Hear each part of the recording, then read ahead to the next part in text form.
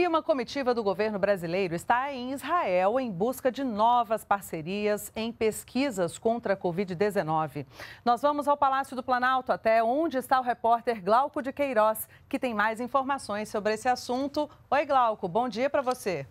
Bom dia, Daniele, bom dia a todos.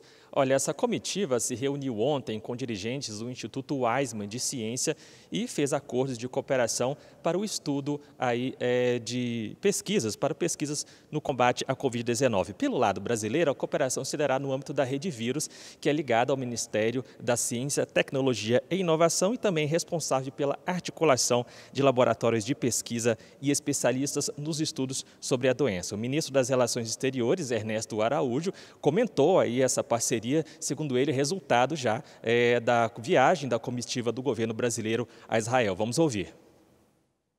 Uma das dez maiores instituições de pesquisa do mundo, a única que está fora dos Estados Unidos, aqui em Israel, que nos permitirá uma uh, rede entre cientistas brasileiros e israelenses uh, para tratar de diferentes aspectos do combate ao Covid, isso no curtíssimo prazo.